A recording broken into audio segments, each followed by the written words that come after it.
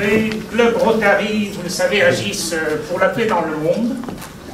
Nous allons parler de la paix ce soir. Je suis ravi de vous accueillir une nouvelle fois ici. Quand les premiers diplômés sont sortis en 1960, nous avons été classés deux années de suite premier MBA au monde par le classement du Financial Times. Notre action qui réunit six clubs de Rotariens du Sud Île-de-France. Grâce à vous et aux sponsors, nous allons pouvoir financer trois bourses de 5000 euros chacune. En 2013, la sélection de Guillaume Zwankowski du lycée de Provins, diplômé Epitech, qui a pu, grâce à la bourse du Rotary, effectuer sa troisième année à Pékin. Il est actuellement chez Dassault Systèmes au Japon. En 2014, Bella Nazarova du lycée euh, François, Ier de Fontainebleau obtient la bourse. Elle est à ce jour étudiante en classe préparatoire aux grandes écoles de commerce au lycée Carnot à Paris.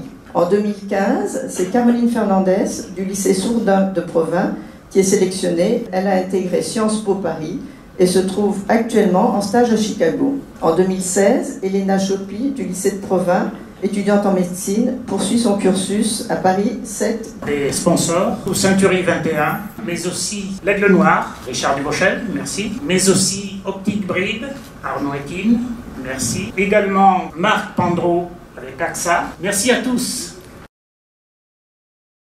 Il a été directeur de recherche de Yorkers. Il est euh, aussi vice-président, surtout, de l'association française euh, Pugwash. Jean-Serge, euh, depuis l'école de l'air, est plongé dans le nucléaire. Et depuis 2002, il est expert unique et exclusif du ministère de la Défense, dissuasion. Denis Beauchard, donc après le scientifique, après le militaire, le diplomate, et ambassadeur en Jordanie, ambassadeur au Canada. Aujourd'hui, il est conseiller à l'Institut français des relations internationales. 1945, c'est l'entrée du monde dans l'air nucléaire. Merci au Rotary d'organiser un sujet en France où le débat ne soit pas à sens unique. Et le mouvement Pugwash, après ça, a réuni euh, dans des conférences euh, annuelles des Chinois, des Russes, des scientifiques qui étaient tous d'accord pour qu'on euh, on ne donne pas aux politiques qui un jour seraient peut-être assez fous pour utiliser des armes de destruction massive. En matière de stratégie, essentielle dans la paralysie, pas dans le meurtre.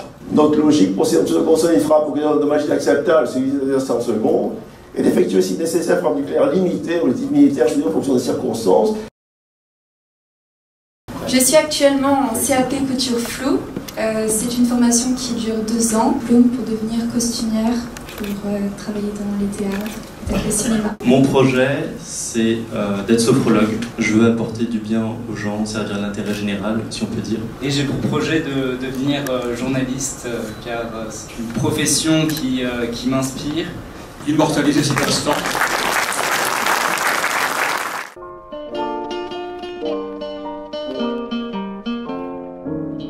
Quand les hommes vivront d'amour, il n'y aura plus de misère. Et commenceront les beaux jours? Mais nous, nous serons morts, mon frère.